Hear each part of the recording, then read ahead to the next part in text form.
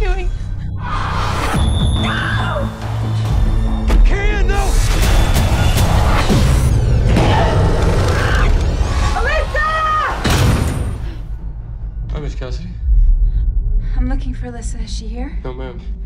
I wouldn't be angry if she's here. Promise me you won't tell anyone about Carrie Ann. Yeah, I, I promise. Listen, we have a new neighbor, okay? Her name's Alyssa, and her and her mom just moved in. I want you to leave her alone. You understand me? What exactly happened again? Her daughter, Carrie Ann, killed both her parents. You know that house is the reason why we can even afford to rent this house. Really? Double murder.